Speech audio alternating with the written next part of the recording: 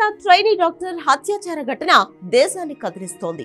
ఓ కామంతుడి పైశాచికత్వానికి ఇప్పుడిప్పుడే ప్రపంచాన్ని ఎదుర్కొంటున్న ఓ యువత బలైంది. ఈ ఘటనలో రోజుకు సంచలన విషయం వెలుగులోకి వస్తోంది.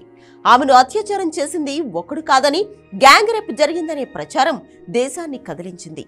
మరో నిర్భయ అనే దేశమంతా కన్నీరు పెట్టుకుంటోంది. ఆ కామందులను కఠినంగా శిక్షించాలని ఉరితీయాలనే డిమాండ్లు వినిపిస్తున్నాయి.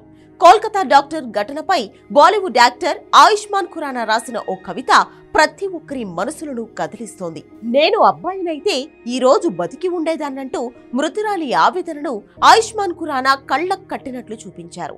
ఈ కవిత ప్రతి ఒక్కరితో కన్నీళ్ళు పెట్టిస్తోంది. అందులో ప్రతి పదం మనసును మేలేస్తోంది.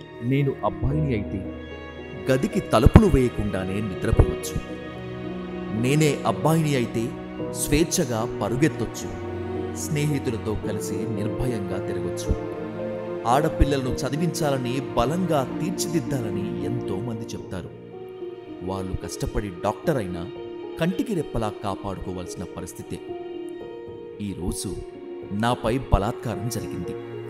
దుర్మార్గుడి క్రూరత్వాన్ని కళ్ళారా చూశాను. సీసీ కెమెరా లేకపోయి ఉంటే పరిస్థితి ఏమిటి? ఏం జరిగినా తెలిసేది కాదుగా? నేను అబ్బాయిని అయితే బాగుండేది. ఒకవేళ నేను అబ్బాయిని అయితే ఈరోజు బతికి ఉండేదాన్ని.